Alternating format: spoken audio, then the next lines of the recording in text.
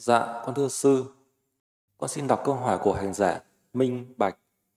Trong năm giới của người tại gia, cư sĩ, khi Đức Phật chế định các điều giới là sắp xếp theo thứ tự mức độ, nghiệp, nặng, nhẹ của từng giới hay sắp xếp theo một nguyên tắc nào ạ? Có theo cái sự nặng nhẹ của từng giới. Trong năm giới ấy thì đương nhiên sát sinh sẽ là một cái tội ác lớn sát sinh sẽ tạo ra cái ác nghiệp lớn. Sát sinh sẽ uh, tạo ra cái sự nguy hiểm cho cả ở hiện tại và tương lai. Do nên được gọi là cái tội nặng nhất được đứng đầu. Rồi đứng thứ hai là trộm cắp đứng thứ ba là tà dâm thứ tư nói dối đứng thứ năm là uống rượu. Thì theo cái trình tự lớn nặng nhẹ của các tội ấy mà Đức Phật đã sắp xếp như vậy thì đó là một cái sự sắp xếp có cái thứ tự có theo cái mức độ thấp uh, uh, cao khác nhau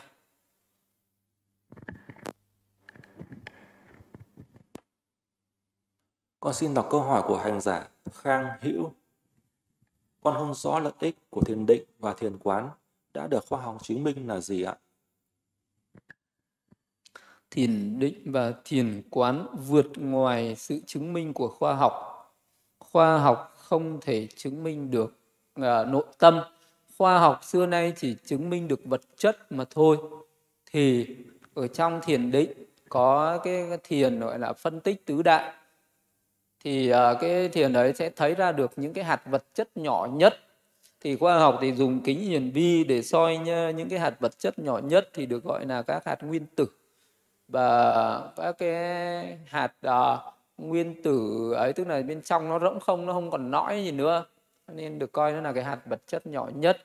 Còn trong kinh đức phật thì gọi là đó là những hạt vi trần hay là những hạt ruba kanaba. Thì đấy là khi mà thực hành thiền tuệ quan sát về các cái vật chất trên đời, thì đó là thấy những cái hạt nó nhỏ ấy. Và trong mỗi một hạt ấy, nó có 8 yếu tố. Ít nhất là có 8 yếu tố. Nó có đất, có nước, có lửa, có gió có màu có mùi có vị có dưỡng chất. À, đấy là cái hạt vật chất nhỏ nhất nó có 8 yếu tố. Mình có thể lấy cái hạt vật chất đấy ở bất cứ đâu. À, dù đó là một cái bụi đất hay dù đó là một cái giọt nước hay dù đó là một cái hạt nửa hay dù đó là một cái hạt gió hay dù đó là cái hạt hư không này. Thì khi phân tích ra thì nó cũng ờ, đều có bốn cái yếu tố là đất nước nửa gió màu mùi vị đều có và nó có cái nhân sinh ra nó nữa. Vật chất bởi vì nó luôn luôn trong trạng thái sinh diệt.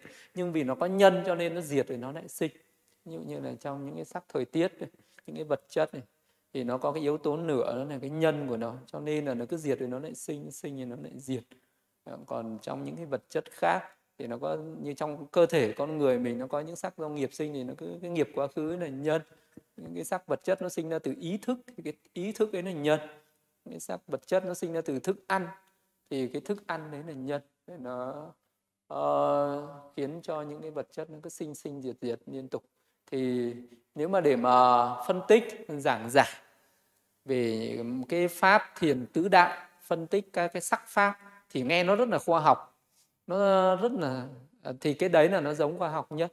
Còn những cái ý thức những cái nó thuộc về tâm thức nó vô hình vô tướng nó thuộc về lĩnh vực tinh thần thì muôn đời khoa học cũng không bao giờ khám phá được. Muôn đời khoa học cũng không bao giờ chứng minh được. Và khoa học sẽ vĩnh viễn không bao giờ có thể với tới được cái vấn đề tâm thức của con người. Chỉ có sự thực hành thiền mới có thể uh, liễu chi được những cái cả về vật chất và tâm thức.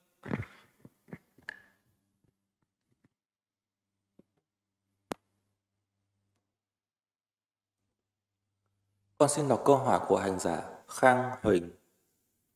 Những đối tượng có rối loạn tinh thần như rối loạn lưỡng cực, rối loạn tâm thần, trầm cảm, rối loạn giảm chú ý, suy giảm chức năng nhận thức, rối loạn giấc ngủ, có thể thực hành thiền định và thiền quán không ạ? Những cái người mà thực hành được các pháp dù là thiền định hay thiền quán nó chỉ phù hợp với những cái người nào à, cái như Đức Phật nói rằng cái người đấy ít nóng, ít lạnh, ít nóng, à, dễ tiêu hóa, hợp với tinh tấn. Tức là cái người đấy có ít những bệnh về thân, và càng ít những bệnh về tâm thì càng tốt. Tức là cái người đấy càng có ít phiền não ít tham dục sân hận hôn trầm thụy miên trạng hối hoài nghi thì mới tu được. Chứ một cái người chỉ cần có một chút phiền não thôi một chút căng thẳng một chút bất an thôi chứ chưa nói gì đến người đấy có bệnh về tâm cái người có bệnh về tâm rồi thì khó khó có thể tu tập được. Cái người phải no mà chữa cái bệnh đấy. À, đấy là ý là muốn nói về những bệnh trầm cảm ấy những cái bệnh mà liên quan đến à, cái tâm lý nó à, bất thường bất an.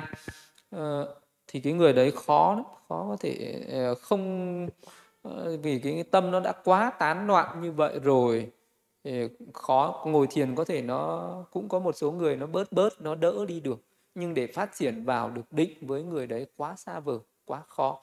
Bởi vì với một cái người tâm lý bình thường uh, mà uh, tu tập đã khó rồi chỉ một chút dao động thôi một chút phiền não thôi đã làm động tâm rồi. Huống chi là một cái người đã bị những cái bệnh trầm cảm no âu như vậy rồi thì phải thì tu tập càng khó hơn không dễ.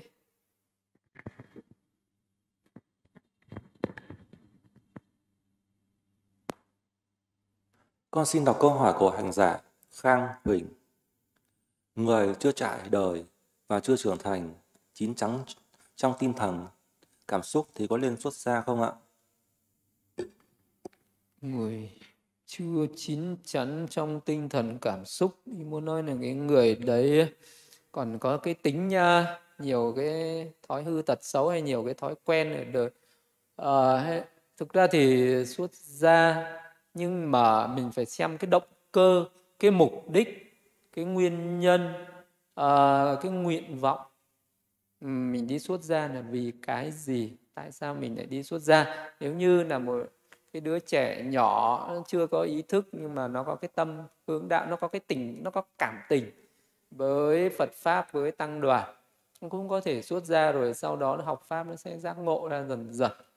Ờ, còn có những khi đã là một cái người trưởng thành ờ, có đủ cái suy nghĩ để phân biệt tốt xấu rồi, thì cái người đấy đi xuất gia thì người đấy phải tự xác định được vì cái mục đích gì, vì cái niềm tin gì mà một cái vị thiện gia nam tử ấy từ bỏ gia đình đi xuất gia.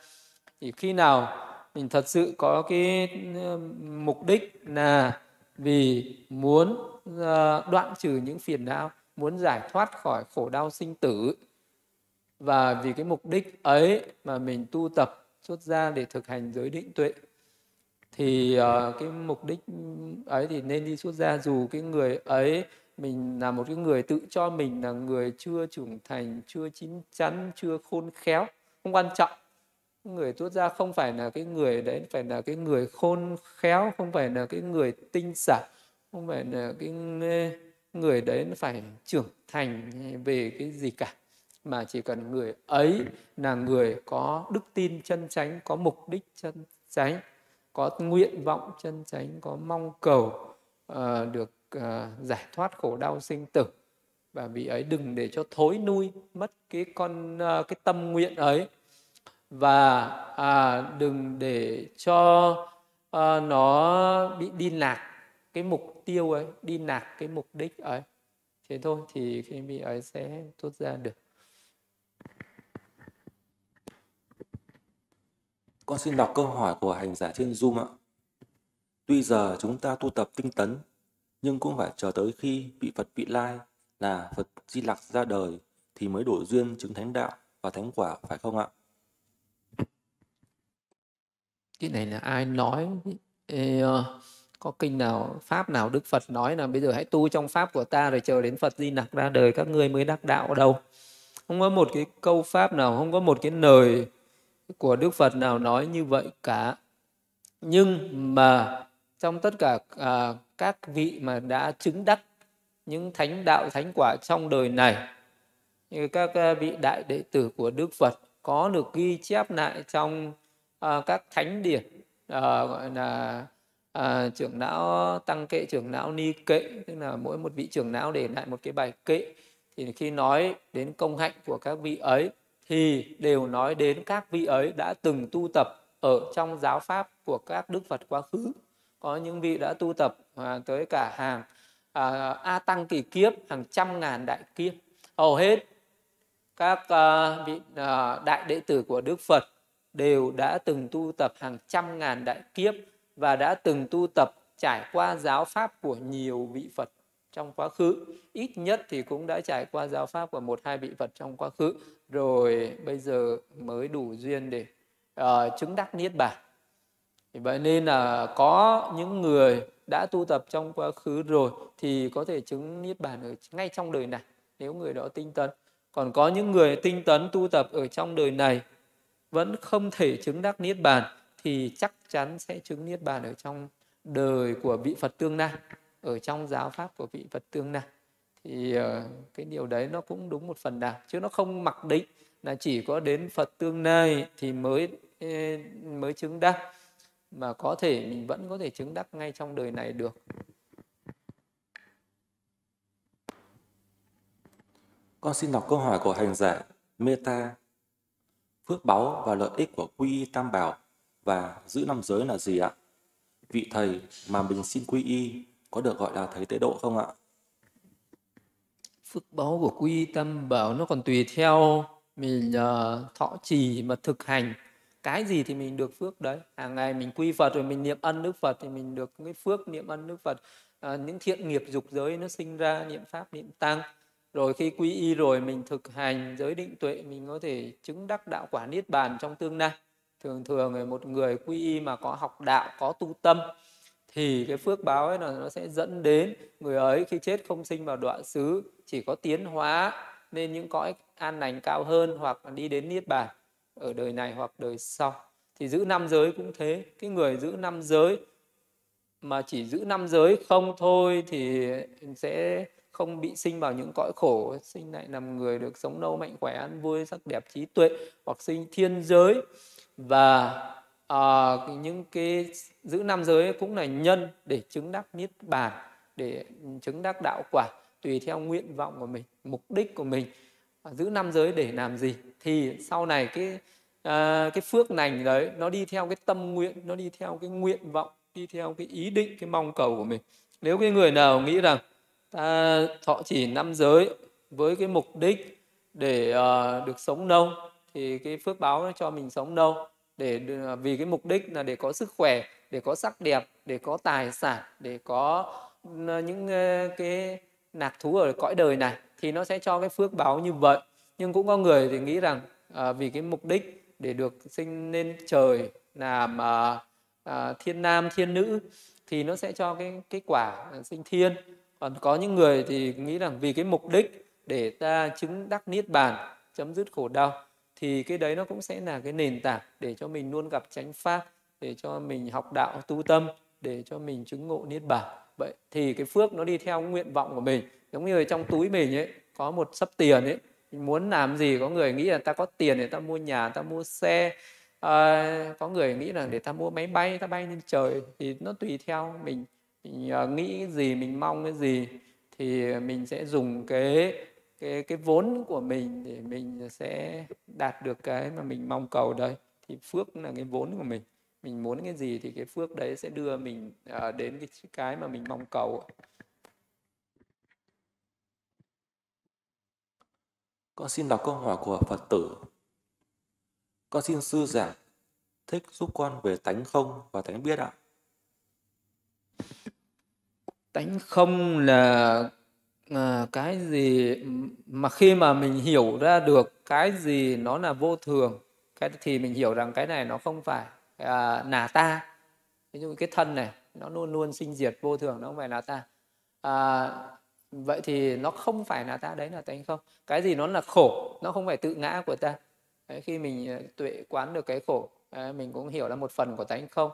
À, cái gì mà nó giả tạo à, nó do duyên hợp duyên tan nên nó không phải là ta tự ngã của ta.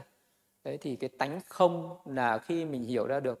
À, cái sắc thân này không phải là ta không phải của ta không phải tự ngã của ta bởi vì nó là vô thường bởi vì nó là khổ bởi vì nó là rỗng không bởi vì nó là giả tạm bởi vì nó nó là có đến nó là có đi. Cho nên nó mình không có quyền gì với nó cho nên thì cái đấy được gọi là tánh không tức là cái trí để mình giác ngộ để mình quan sát để mình tuệ chi ra được cái sự uh, sinh diệt ra được cái uh, sự giả tạm để mình thấy rằng là mình không có quyền sở hữu uh, làm cho uh, những cái mà mình cho là của mình làm theo ý mình.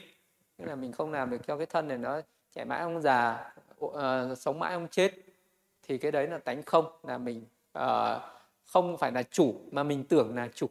Mình không phải là chủ uh, của thân này mà mình tưởng là mình là chủ nhân của cái sắc thọ tưởng hành thức này. Mình không phải là chủ nhân của cái nhà cửa xe cộ tiền vàng bạc mà mình lại tưởng rằng mình là chủ nhân. Mình không phải là chủ nhân của vợ con nhà cửa mà mình lại tưởng là chủ nhân. Thì đấy được gọi là khi nào mình hiểu ra được à, à vợ không phải của mình con không phải của mình nhà không phải của mình. À, thân tứ đại không phải của mình vui buồn không phải của mình tư tưởng không phải của mình hành động không phải của mình nhận thức không phải của mình thân tâm không phải của mình. Thì lúc đấy là giác ngộ ra được cái tánh không. Đấy là tánh không. Là cái đó còn cái tánh biết. Biết ở đây có nghĩa là biết ở đây thì là biết và thấy.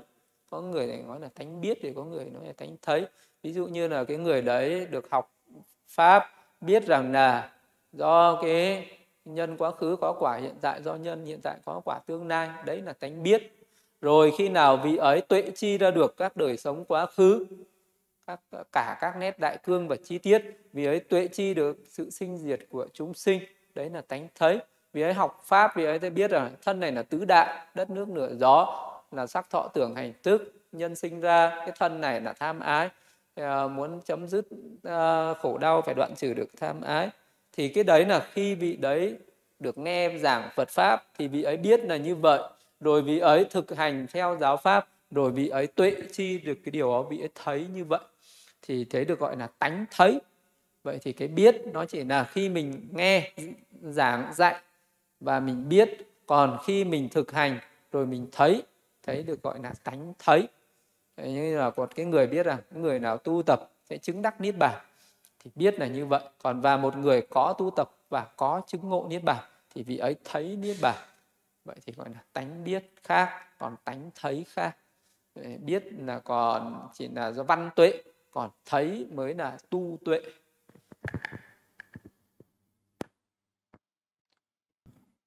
Con xin đọc câu hỏi của hành giả Vân Thục Duyên. Sau khi con quy y một thời gian thì con đã phát nguyện cúng thí thực vào ngày mùng 1 và 15 hàng tháng. Với tâm mong muốn các hương linh, cô hồn, ngạ quỷ lang thang, đói khổ, được lương tựa, Phật, Pháp, Tăng, được thọ thực, nghe kinh và hưởng phần công đức cúng dường mà con đã hồi hướng. Nhưng có chị Phật tử hướng dẫn con, nếu con tự phát nguyện thì con không có năng lực để các hương linh lương tựa. Như vậy là không có lợi ích. Con xin sư giảng giải cho con. Có các óc nhìn đúng về việc cúng thí và làm như thế nào để các hương linh trong cõi vô hình đang phải chịu khổ được lợi ích nhất ạ? Cái mà mình không nhìn thấy mà mình lại thương, mà cái mình nhìn thấy mà mình lại không thương. Không biết những cái đấy là cái lòng, cái tình thương ấy, nó không biết nó thật hay là nó là thương bậy, thương giả trên đời này có đầy những cái người đói khổ ấy cho người ta ăn đi. Sao không cho ừ, cho những cái vong linh đấy người ta ăn. Mà trong khi mình không nhìn thấy người ta người ta cũng không đến xin mình. Ra không bảo là hãy cho tôi ăn. Vì vậy cho nên là làm cái việc đấy không có, chưa chắc đã có ích, lợi gì. Khi mà mình cho một cái người ăn mà mình chẳng biết người ta có ăn thật hay không, mà chẳng biết người ta có thật hay không nên đời có người người ta bảo có những cái vong linh người ta ăn đấy mà có người người ta bảo không có đâu người ta không ăn đâu. Ờ, thì làm sao? Vậy có nghĩa là mình đang làm cái việc à, theo cái cái cái tâm lý mà là thấy ai nói sao thì mình cũng bị a dua theo vận nghe theo tin theo. À, và nếu như mình thật sự muốn ờ, thương xót những chúng sinh khổ đau thì có những chúng sinh khổ đau mà mắt mình thấy tai mình nghe tiếp xúc gặp gỡ mà hãy cho người ta ăn. À, thì cái tình thương ấy mới chân chánh mới đúng với sự thật. Hay là vì các chúng sinh cho được bát cháo à? mình nghĩ rằng là hàng ngàn vạn chúng sinh ấy, vào đấy ăn bát cháo là, là người ta no đủ hết cho thì căn cứ vào trong kinh ngã quỷ sự nếu như muốn hiểu các ngã quỷ ấy các vong linh ấy người ta ăn cái gì thì mở tiểu bộ kinh ờ, uh, Nikajara và đọc cái chương ngã quỷ sự vô số bài kinh nói về những ngã quỷ người ta cần cái gì. Người ta uh, trong những cái bài kinh ấy những ngã quỷ người ta gặp những người thân hoặc người ta gặp những ân nhân hoặc người ta gặp một ai đó người ta chỉ yêu cầu rằng hãy tạo phước hãy cúng dường nên đức phật cúng dường nên các bậc thánh tăng. Để tạo ra những cái phước lành những công đức lớn rồi hồi hướng công đức ấy cho tôi thì tôi được thoát khỏi cái sự khổ đau. Thì đấy là trong uh, các cái kinh uh, chỉ nói như thế. Vậy thì mình muốn nợ nạc muốn lợi ích cho những cái hương linh ấy. Mình chỉ có thể tạo ra phước này. Đó là từ cái Ờ, bản thân mình thanh tịnh từ cái vật thí mình thanh tịnh cúng dường đến những bậc thanh tịnh. Và nó sẽ tạo ra cái phước thanh tịnh. Rồi những cái vong linh nào người ta tùy hỷ theo người ta hoan hỷ theo thì người ta mới được hưởng cái phước này. Từ những cái uh, thiện uh, nghiệp từ những cái phước thiện uh, thanh tịnh ấy. Chứ không phải là mình nấu nồi cháo lên rồi mình cho người ta ăn đâu. Ờ, làm như thế thì các ngã quỷ người ta đã không đói khát không khổ sở ờ, có thể đã trở thành một đại ân nhân của vô số ngã quỷ rồi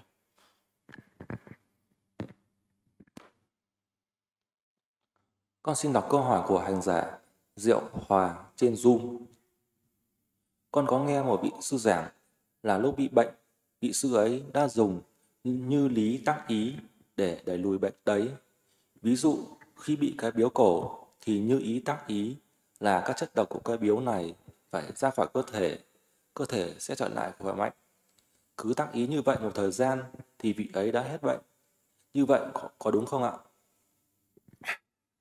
Ờ, thì trên thân này nó có những cái bệnh nó tự nó chữa lành bị đó tác ý như vậy bị đó cũng khỏi thì vị đấy nghĩ rằng nhờ ta tác ý như vậy mà ta khỏi có người khác người ta bị cái bệnh đấy người ta uống thuốc rồi người ta khỏi thì người ta nghĩ rằng nhờ uống thuốc mà khỏi. Có người người ta bị cái bệnh ấy người ta đi cúng người ta nập đàn tế lễ xong người ta khỏi rồi người ta sẽ cho rằng nhờ cúng bái mà khỏi. Cho nên ở trên đời nó cứ mỗi một cái người người ta lại tin vào một cái ờ, phương pháp khác nhau một cách thức khác nhau như vậy. Vậy thì uh, đấy là cái niềm tin của mọi người ai ờ, cái niềm tin đấy thì tùy thôi vì là có như lý tác ý cũng tốt mà. Như lý tác ý đấy có nghĩa tác ý những điều chân chánh thì điều đó là tốt chứ không phải là tác ý uh, và vị đó phải hiểu đúng cái như lý tác ý trong pháp của đức phật dạy thì uh, cái người đấy như lý tác ý thì vì ấy có thể tác ý là cái thân này là đất nước được rồi đấy là như lý tác ý. Cái thân này là vô thường khổ vô ngã đấy là như lý tác ý. Vì ấy phải thấy là cái bệnh này cái cảm thọ này không phải là ta không phải của ta không phải tự ngã của ta đấy là như lý tác ý. Nếu như mình có bệnh mình cứ như lý tác ý bệnh nó không khỏi mà nó có chết thì cũng được sinh về cõi này.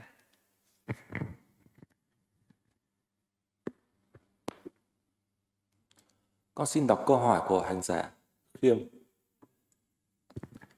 Con cần những điều kiện, thủ tục như thế nào để được xuất gia ở chùa mình với sư ạ? Con 24 tuổi, độc thân, lý lịch tư pháp sạch, không bị bệnh. Con không cần xin phép bố mẹ, có được không ạ? Muốn xuất gia thì cứ đến để tập sự. Tập sự uh, một thời gian để xem nào mình à, có cái tâm nguyện xuất gia ấy nó có vững bền không? Nó có mạnh mẽ không? Nó có chân chánh không? Mình có phù hợp với môi trường như vậy không? Giáo pháp như vậy không? Cái, cái sự thực hành tu tập nó có uh, phù hợp không? Ví dụ như xuất gia ở đây thì ngồi thiền là chính. Một ngày ngồi thiền 8, 9, 10 tiếng chỉ cần ai có cái nguyện vọng như vậy thì có cái tâm ờ, tu ờ, giới định tuệ và học kinh nuột nuộn thì người đấy sẽ xuất ra được. Còn nếu như người nào mà xuất ra mà à, lại không có cái tâm học kinh nuột nuộn không có cái tâm tu tập giới định tuệ không có cái tâm là dứt bỏ những cái phiền não ô nhiễm để cho mình tiến hóa và thanh tịnh hơn thì mình sẽ không phù hợp. Chỉ thế thôi mình thực hành rồi sẽ tự biết. Con xin đọc câu hỏi của hành giả vậy trên zoom. Con không biết a tỳ đàm có phải là vi diệu pháp không ạ? A tỳ đàm thì cái đấy là một cái a tỳ đàm mà chính là vi diệu pháp Ờ, thì đã là tiếng phạm tiếng bali. À, và dịch ra tiếng việt chính là cái thắng pháp hay là vi diệu pháp. Con xin đọc câu hỏi của hành giả lệ trang. Nếu kiếp này mình đã loại được một ít tà kiến thì đời sau kiếp khác những tà kiến đã được loại bỏ ấy còn sanh khởi lại không ạ? Khi mà đoạn trừ nó ở cái mức độ là mình chỉ làm giảm bớt suy yếu cái tà kiến ấy thì uh, nó cũng uh, nó còn tùy theo mức độ. Ví dụ như là một cái người bình thường ấy thì uh, mình có cái tà kiến giống như là mình uh, biết là uh, không biết là có kiếp trước hay có kiếp sau hay không hay là mình còn một chút hoài nghi nên là mình, có những người thì không tin, có đời trước, có đời sau thì đấy là một sự tà kiến. Nhưng do khi mình nghe giảng Phật pháp rồi mình bỏ cái tà kiến ấy đi, mình tin rằng ở có à, nhân quả, nghiệp báo, có luân hồi, tái sinh, có kiếp trước, có kiếp sau, thì ờ, đấy cũng là à, một cái mình đã đoạn trừ được tà kiến do mình nghe pháp. Do nghe pháp nó có được cái tránh trí tránh kiến được một phần cái nghe cái chánh kiến nó lớn được phần nào thì cái tà kiến nó yếu đi phần đấy. Nhưng mà đến đời sau sinh ra thì cái người mà có tu tập rồi thì cái tà kiến nó yếu hơn người không tu tập. Nó tuy rằng là nó cũng không uh, mất hẳn. Ừ, nhưng mà cái người mà có được chánh kiến thì cái chánh kiến đấy nó cũng đi theo mình uh, được một chút. Nhưng mà nếu như mình thân cận cái môi trường ô nhiễm thì cái tà kiến đấy nó tăng đi. Ừ, thân cận với môi trường ừ, tránh kiến thanh tịnh thì cái ừ, tránh kiến nó tăng lên thì cái tà kiến nó cũng bớt đi. Cái tà kiến ấy nó chỉ được đoạn trừ không sinh khởi nạn khi nào vị ấy chứng được nhập dòng tức là chứng được một cái đạo quả à, đầu tiên trở đi sơ quả dự niu trở đi thì những cái tà kiến nó đã được đoạn trừ rồi nó mới vĩnh viễn không sinh trở lại nữa dù kiếp sau vị ấy có sinh lại làm người, thì những cái tà kiến mà vị ấy đã đoạn trừ rồi, nó cũng mất, nó không sinh lại ở trong cái đời kiếp ấy. Này chỉ khi là một vị chứng được một trong tứ thánh đạo, thánh quả, thì mới đoạn trừ được hoàn toàn mà nó không sinh lại. Còn khi mà mình chưa đoạn trừ được ờ, thì nó vẫn sinh trở lại. Và nó còn tùy theo cái nguyện của mình, cái cái nhân duyên của mình với chánh pháp nó uh, mạnh hay nó yếu? Nếu mình có cái nguyện uh, rất là mạnh là đời nào sinh ra cũng mong con gặp được chánh pháp uh, thân cận các bậc chân nhân để thực hành giáo pháp để đi đến niết bàn. Nếu như mà mình có cái nguyện đấy nó mạnh thì những kiếp mình sinh ra mình thường được sống ở trong chánh pháp thì cái tà kiến đấy nó cũng càng ngày nó càng yếu đi. Còn cái nguyện đấy nó yếu thì đến lúc mình thân cận nhờ một cái môi trường ô nhiễm thì cái tà kiến nó lại sinh trở lại liền Con xin đọc câu hỏi của hành giả Quảng Phương. Trong khi quán hơi thở, khi hơi thở vào, ta để ý hơi thở qua vùng da ở gần mũi, cửa mũi hoặc đầu mũi. Vậy khi thở ra thì mình để ý hơi thở đi qua đâu vậy ạ? Có phải cảm nhận nó đi qua các vùng da ở mũi khi hơi thở đi vào không ạ? Mỗi người có một cái cách nhận biết khác nhau, có một kinh nghiệm mà khác nhau. Mà mình quan sát cái hơi thở ở cái chỗ điểm xúc chạm thì cái đầu tiên là mình phải để ý cái điểm xúc chạm rồi sau đó mình mới để ý đến cái hơi thở ở cái điểm xúc chạm đấy và đến lúc mà tâm nó nhất tâm trên hơi thở rồi thì nó không còn bận tâm đến cái điểm xúc chạm nữa vậy nên là đừng quá chú trọng về điểm xúc chạm. Có những người uh, mình nghe nói rằng là để tâm ở trên điểm xúc chạm và hơi thở và mình ờ, quá chú trọng cái điểm xúc chạm quá quan sát cái điểm xúc chạm và thấy cái điểm xúc chạm đấy rõ ràng uh, quá rồi dần dần mình lại bị dính mắc vào cái điểm xúc chạm đấy. Rồi cái tâm nó sẽ bắt vào cái thân tứ đại nó sẽ bắt vào những cái đặc tính. uh, Ờ, như là tính cứng hay là tính nặng hay tính ờ, mềm, tính mịn, tính nhẹ gì đó ở trên cái vùng da đấy. Và cái lúc đấy nó sẽ thành cái tật ở đấy rất là khó sửa. Với những người nào mà thực hành lâu ngày mà không sửa ờ, không có biết rằng cái đối tượng chính yếu của mình là hơi thở, chứ không phải điểm xúc chạm. Điểm xúc chạm chỉ là vị trí đánh dấu để mình hướng tâm lên đấy. Mình giữ tâm ở đấy là quan sát hơi thở, chứ không phải là quan sát điểm xúc chạm à, vậy vậy nên là đừng quá chú trọng đến điểm xúc chạm mà chỉ cần biết hơi thở nó ở cái vị trí đấy mà thôi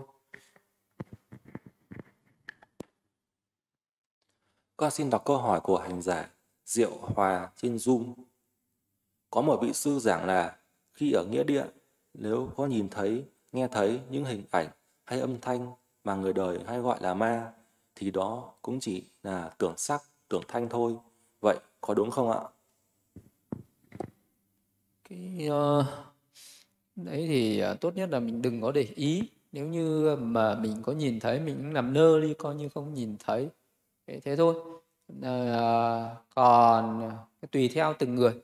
Có những người người ta chưa nhìn thấy ma thì người ta nói là ma là tưởng tượng ra. À, thì có bảo vị ấy ra nghĩa trang ngồi xem vị ấy có thấy ma hay không. Cái này nó cũng tùy từng người nhé có người sẽ thấy có người không thấy mà thấy thì cũng phải nằm nơ đi nhưng đừng có bận tâm. Bận tâm nó bị loạn tâm không tốt. Mà không thấy thì càng tốt. Vì nên ở trong uh, thanh tịnh đạo nói rằng một cái vị tu uh, thành thiền chứng đắc các tầng thiền vị ấy có thể phát triển được thiên nhãn. Khi có thiên nhãn vị ấy có thể nhìn thấy ma quỷ. Và cái đấy lại là một nguy hiểm. Nếu như vị ấy là một phàm phu vì ấy là một phàm phu dùng thiên nhãn mà thấy những hình ảnh à, đấy mà có những vị còn bị mất thiền động tâm sợ hãi. Người còn với một cái vị chứng đắc thánh quả rồi đỡ sợ hãi hơn à, hoặc là hết sợ hãi rồi thì mới tự tại không còn đáng sợ nữa. Vì vậy cho nên là tốt nhất tránh xa ra tránh xa ma ra. Đừng có gần ma đừng có nhìn ma đừng có nói chuyện với ma đừng có ừ, quan tâm đến cái chuyện đó làm gì.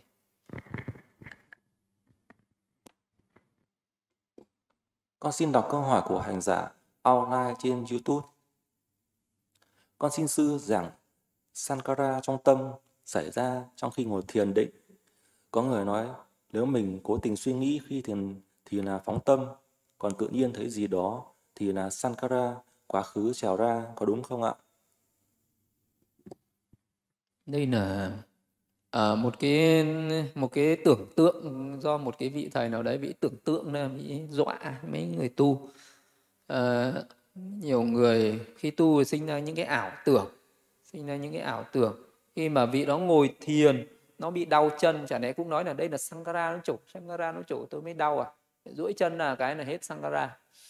À, khi ngồi thiền bắt đầu rơi vào những cái ảo tưởng à, rồi gầm rú lên như con thú bảo đây sangara sangara cái suốt thiền ra lại suốt ra phải sankara sao? Đấy là à, những cái đấy này những cái người quan điểm như vậy à, những cái à, tư tưởng như vậy những cái chi kiến như vậy nó rất là tà nó rất là tà kiến. Nên là đừng có quan tâm đừng có bận tâm đến cái đấy. Mà cái đấy nó không phải là Sankara quá khứ nó trổ đâu mà cái đấy là do cái sự thực hành là sai không đúng cho nên là nó sinh ra những cái ảo tưởng. Và bây giờ uh, chỉ cần thực hành tốt cho nó nghiêm túc lại dứt bỏ những cái tâm tà ấy đi. Những cái đấy nó không phải là sangara mà nó là cái tâm tà nó sinh ra. Dứt bỏ nó đi cái là nó hết. Nên là đừng có nghĩ đến chuyện sankhara nó trổ ở trong cái lúc đó.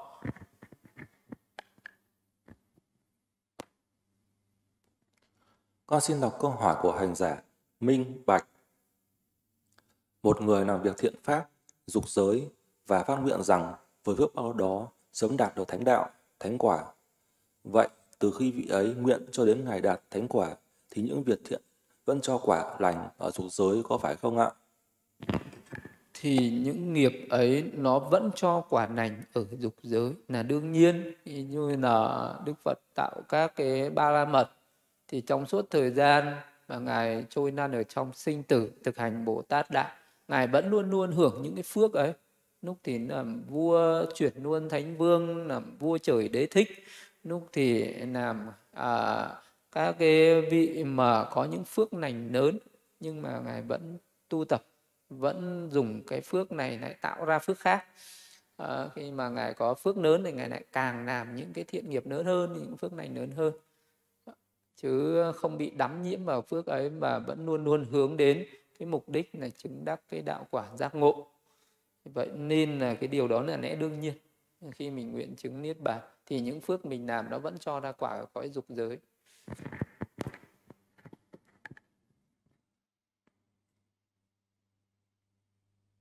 Con xin đọc câu hỏi của hành giả Thảo trên YouTube. Việc giữ giới sát sanh có bắt buộc phải ăn chay trường không ạ? Giữ giới sát sanh không ai bắt phải ăn chay trường.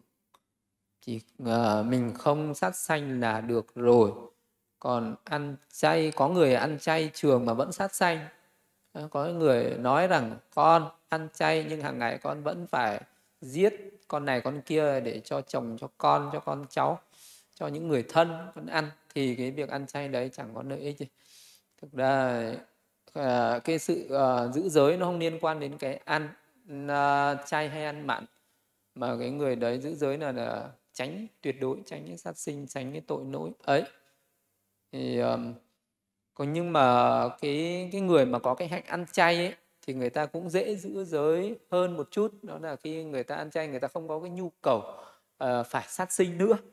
Ờ, uh, nhưng là với dù đó là một cái người tại gia mà người ta ăn chay thì người ta không có cái nhu cầu sát sinh nữa còn những người mà ăn mặn thì đôi khi còn có cái nhu cầu uh, sát sinh.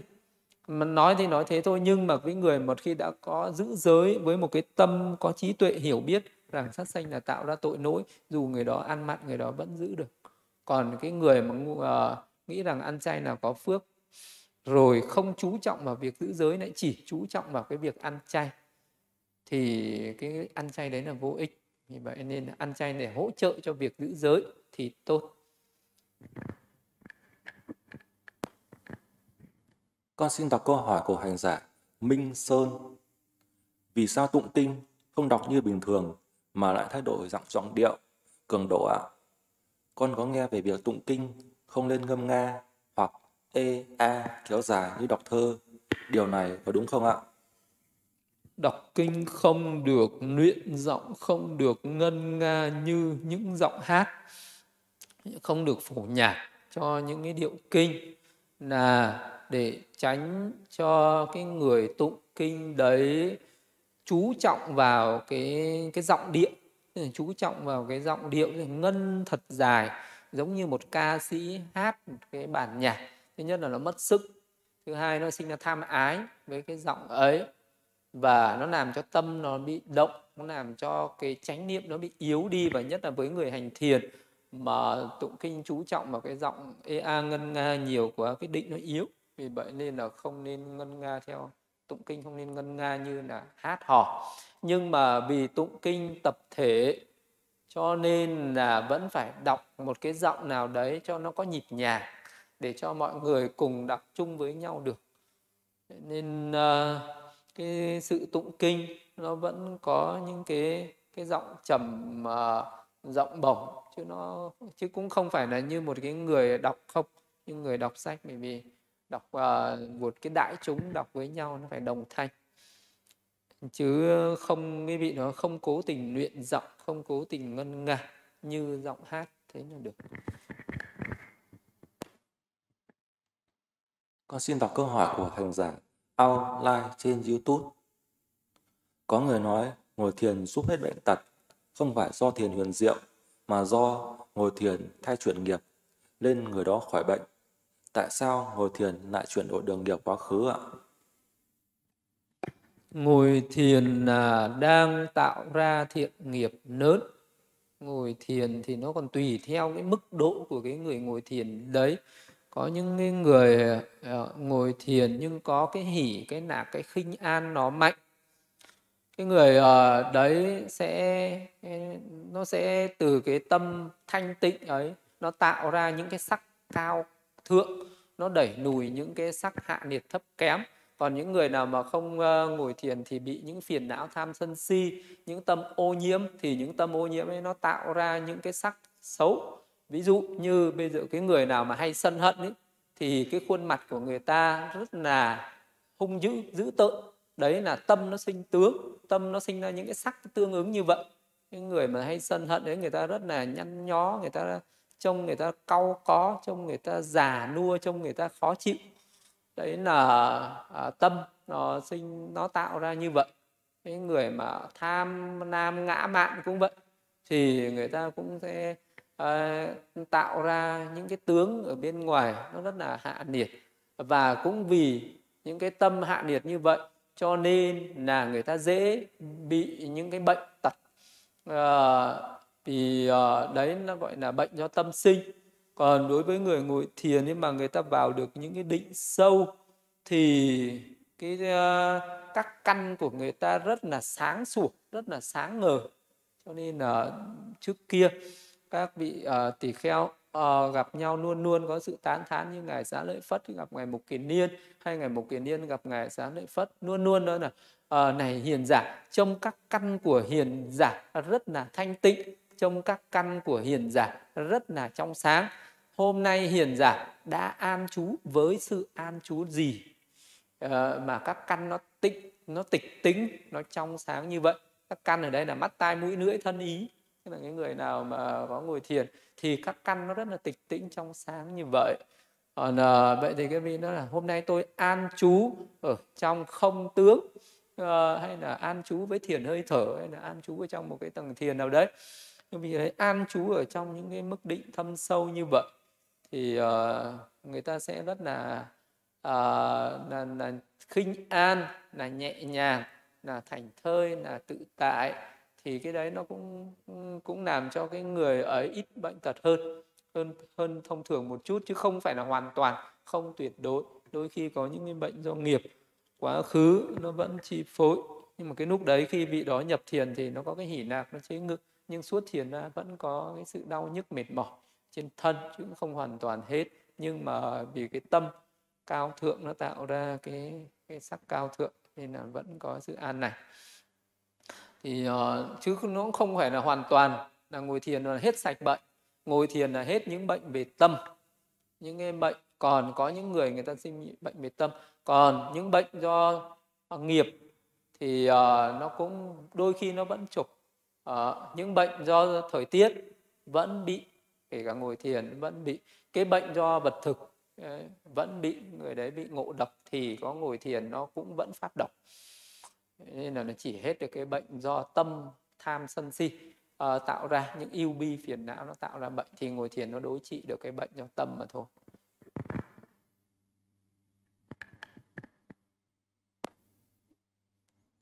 Con xin đọc câu hỏi của hành giả Trương Phúc. Con rất thích lạy Phật và Bồ Tát. Việc lạy như vậy có sinh ra công đức hay phúc đức gì không ạ? Lễ Phật thì nó tạo nên cái tâm cung kính nó tạo nên cái tâm thành kính. Thì nó tạo ra cái công đức từ cái tâm đức cung kính tâm đức thành kính ấy. Nhưng mà như thời đức phật vậy ai gặp đức phật chỉ lễ đến ba lễ thôi. Hoặc là cung kính lắm thì nhiễu quanh đức phật. Là đặt lễ à, dưới chân đức phật đặt chân đức phật lên đầu lên chán mình. Thế là đủ rồi. Chứ đức phật không bao giờ à, nói là hay sao lễ ta đến 30 lễ xong lễ ta đến trăm lễ? Xong lễ ta năm trăm lễ? Lễ có ba lễ. Ờ, để mà bày tỏ cung kính khởi lên cái tâm cung kính năm à ba lễ là đủ rồi không cần phải lễ nhiều quá.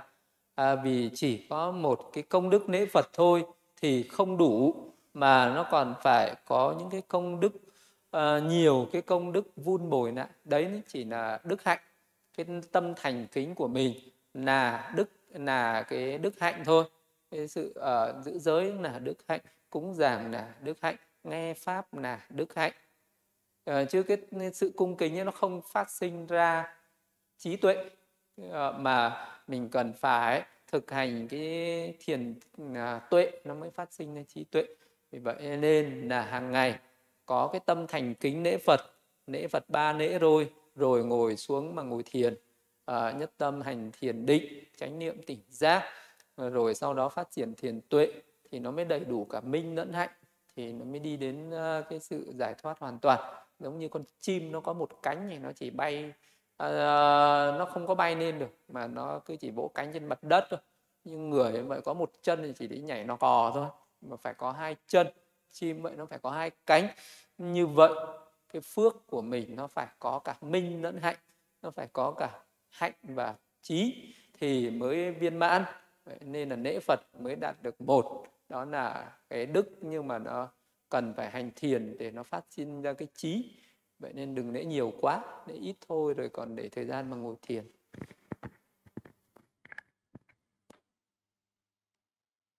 Con xin đọc câu hỏi của hành giả Vũ Thanh Thúy trên Zoom ạ. Xuất gia gieo duyên có phước báo không ạ? Xuất gia gieo duyên. Có phước báo, có ba la mật về xuất gia. Xuất gia gieo duyên. Trong cái thời gian xuất gia ấy mình sẽ có được giới thanh tịnh. Họ giữ giới của người xuất gia có được tâm suốt ni.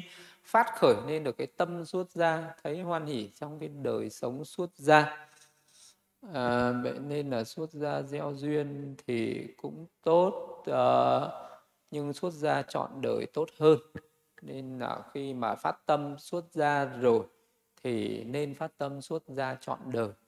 Thì trừ trường hợp là mình còn quá vướng bận với sự đời thì hãng xuất gia gieo duyên. Dạ, con thưa sư, các câu hỏi còn lại con xin rời lại bữa sau ạ. Người hồi hướng. Idame punyam asawakadam vaham hotu idame Bunyam Nidbanasa pachazo hotu mama punya pagam sabba sabthanam panchemi tesabe menamam punya pagam napandu sadu sadu sadu